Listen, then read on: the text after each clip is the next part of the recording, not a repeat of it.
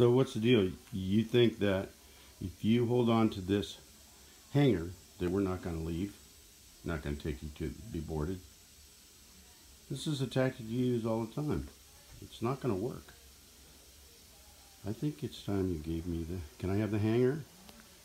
Give it to me. No? Oh, come on. Oh, you got your paw on it. I see.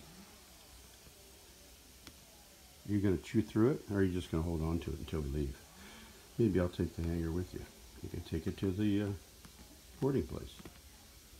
Don't eat that. It's not good for you. Let me have that. Hmm, Zoey. That's the way it's going to be, huh? Okay.